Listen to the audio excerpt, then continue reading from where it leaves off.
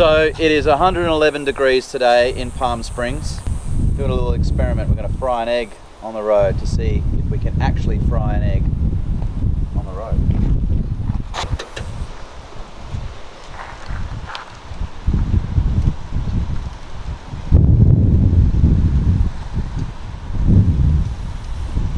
We're going to leave that there Yeah.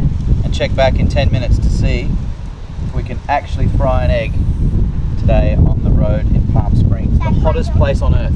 A few moments later. Oh my goodness, it is this hot in Palm Springs today. That's insane.